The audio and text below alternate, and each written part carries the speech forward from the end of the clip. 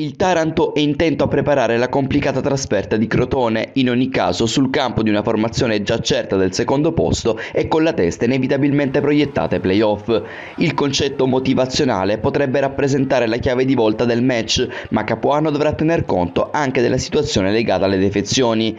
Non prenderanno parte alla trasferta in terra calabrese Manetta e Crecco, mentre rimangono da valutare le condizioni di Semprini. Per il resto, in campo dovrebbe vedersi un Taranto pressoché simile a quello impiegato nel corso delle ultime partite. La certezza principale riguarda l'assetto offensivo, l'intesa tra Bifulco e Tommasini cresce a dismisura, con il primo pronto a ispirare e il secondo a concretizzare. Dietro nelle gerarchie gli altri centravanti, nessuno dei quali è riuscito finora a dare uno slancio netto in termini realizzativi. Sarà l'ultima partita nella quale varrà il minutaggio, considerando che nei 270 minuti conclusivi della stagione lo stesso non avrà più valore. Le scelte di Capuano Milano che nel mentre cerca i restanti punti per brindare la salvezza diretta e per sognare i playoff potrebbero essere influenzate anche da questo fattore.